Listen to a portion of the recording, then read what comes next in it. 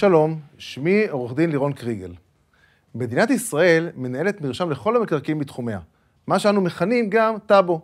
תפקידו של עורך הדין שאותו מיניתם הינו לבדוק את זכויות המוכר עוד בטרם העסקה, לטפל בהיבטים השונים של העסקה ולסיים את הטיפול כשהוא רושם את הזכויות שלכם במרשם במקום הזכויות של המוכר. על פי החוק, המרשם פתוח לעיון הציבור ובתשלום אגרה סמלית תוכלו להוציא נסח טאבו. זו תעודת הזהות של המקרקעין בישראל, ולהבין ממסמך זה פרטים שונים על הנכס ועל הזכויות שיש בו.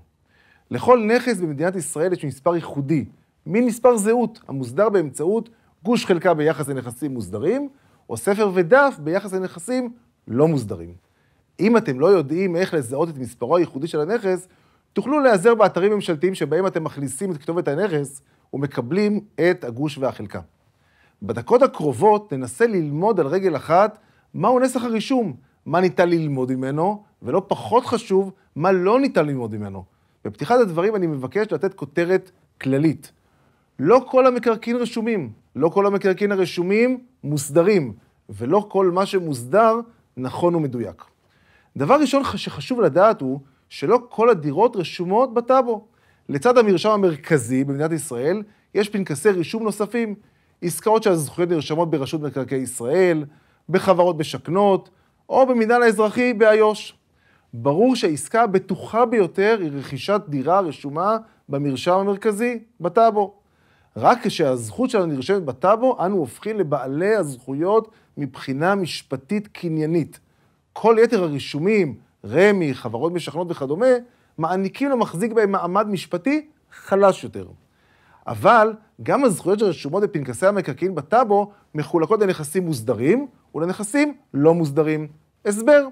לפני קום המדינה שלטו בארץ הבריטים ולפני כן הטורקים. שיטת הרישום שהייתה נהוגה בתקופת השלטון הטורקי איננה דומה לשיטת הרישום בימינו. אתם בטח שואלים את עצמכם, מדוע רשם המקרקעין מלמד היסטוריה? ההיסטוריה הזו משפיעה על הזכויות שלכם במקרקעין. עד היום יש לא מעט נכסים שרשומים לפי שיטת הרישום הישנה. באופן מפתיע, אלו נכסים שנמצאים אפילו במרכזי הערים. במרכז ירושלים, שכונות בתל אביב, בצפון הארץ ובדרומה, בעיקר בשכונות ותיקות. לשאלה אם הקרקע מוסדרת או לא, יש השלכות שונות המוגדרות בחוק המקרקעין. מה שחשוב בעיקר לדעת הינו שרכישת קרקע לא מוסדרת, יש בה סיכונים מסוימים, היא מחייבת ליווי רציני וצמוד באנשי מקצוע מעולים, תוך חשיפת כל הסיכונים. לעומת זאת, עסקה הנעשית במקרקעין מוסדרים, היא פשוטה יותר. לפעמים באותה שכונה, ואפילו באותו רחוב, יכול להיות בניין אחד שאינו רשום כלל במרשם המקרקעין, אלא בפנקס אחר, כמו למשל ברשות מקרקעי ישראל, ובניין אחר שרשום בטאבו, אבל הוא נכס לא מוסדר. עליכם לבדוק מה הסטטוס של הנכס שאותו אתם מבקשים לקנות. זה ישפיע על רמת הסיכון של העסקה ועל סוג עורך הדין שעליכם לקחת. רוצים לדעת אם הדירה בנויה על מקרקעין מוסדרים או על מקרקעין שאינם מוסדרים? תסתכלו היטב בתוך הנסח. אם הנכס מזוהה באמצעות גוש וחלקה, הרי שהוא נכס מוסדר. אם הוא מזוהה באמצעות המושגים ספר ודף, זהו נכס לא מוסדר. מנסח הרישום ניתן ללמוד מהו הנכס, שטחו, מה הוצמד לו כגון חנייה או מחסן, מיהו בעל הזכויות הרשום ומהי הזכות, הזכות הנרכשת, בעלות או חכירה. תוכלו גם לבדוק האם יש גורמים נוספים שאינם בעלי זכויות בנכס, באופן שעלול להשפיע עליכם, והאם למוכר יש סיבוך כלשהו ביחס לנכס. למשל, האם מוטל עיקול על הנכס, או האם יש הערת אזהרה המונעת את ביצוע העסקה. כל שורה בנסח היא בעלת משמעות, ועליכם להתעמק בנסח ולהבין אותו ולהקפיד על הוצאת נסח עדכני ממש בסמוך לפני העסקה. לא ניתן ללמוד מנסח הרישום מה הסיווג של הנכס. האם מדובר בדירת מגורים, במחסן או במשרד, וכן את מצבו התכנוני של הנכס. סוגיות אלו תיאלצו לבדוק במחלקת ההנדסה ברשות המקומית, בוועדה לתכנון ובנייה. בנוסף, יש לוודא שהמוכר הניצב לפניכם הוא בעל הזכויות הרשום. דווקא בשל השווי הגבוה של נכסי מקרקעין, ישנם לא מעט עסקאות הנעשות על ידי מתחזים שזייפו מסמכים לצורך כך. לפעמים זכויות מאוד ישנות רשומות בפנקסי המקרקעין ללא מספרי זיהוי. לא היו מספרי זיהוי לפני קום המדינה. לפעמים בעל הזכויות רשום עם זיהוי, כגון דרכון. כל הבדיקות האלו מבצע עורך הדין שלכם, ואסור לעגל פינות או לקצר תהליכי הבדיקה שנועדו להגן עליכם. נניח שהוצאנו נסח, בדקנו, מצאנו שהדירה רשומה בטאבו והמקרקעין מוסדרים, פנקס הזכויות, זהו, האם יכולות להיות הפתעות נוספות? בשנים האחרונות אנחנו נתקלים בלא מעט מקרים שבהם רוכשים חותמים על חוזה, ולאחר מכן נתקלים בבעיה חמורה. הדירה שחשבנו שאנחנו רוכשים שייכת בעצם לשכן מהדירה הסמוכה. כלומר, הנכס שהראו לכם ואותו חשבתם שקניתם, הוא לא הנכס שקניתם בפועל, מבחינה משפטית. הפרק השלישי, השלישי שעסק בבדיקות לפני העסקה, עסק בכך בהרחבה.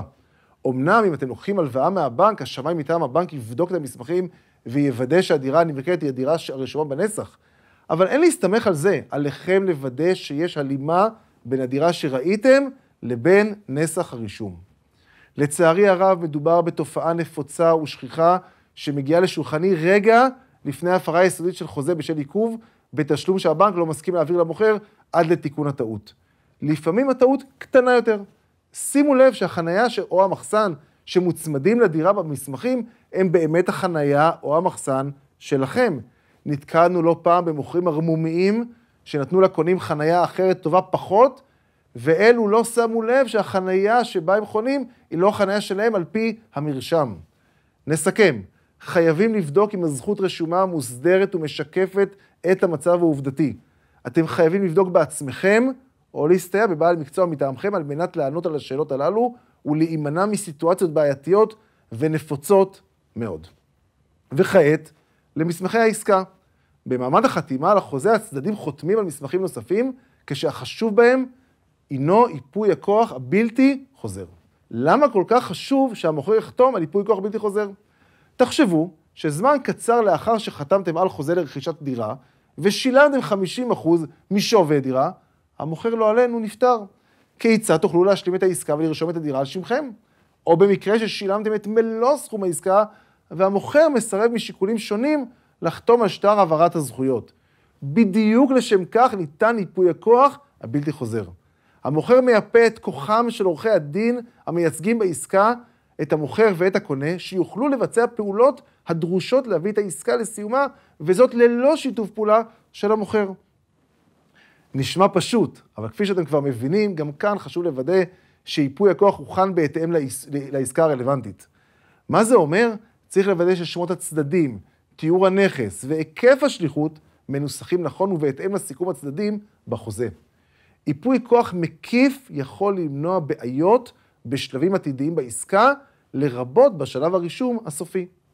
כאן עליי לציין דבר חשוב. מכיוון שמקרקעין הם נכס כל כך חשוב, אנחנו משתדלים לנהל את המרשם בצורה קפדנית. ככל שיש טעות ואפילו קטנה במסמכים, לא יתאפשר ביצוע רישום וממילא העסקה תיתקע באמצעה.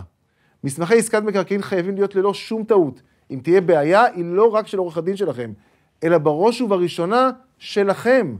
לכן עליכם להיות מעורבים בתהליך ולהבין אותו.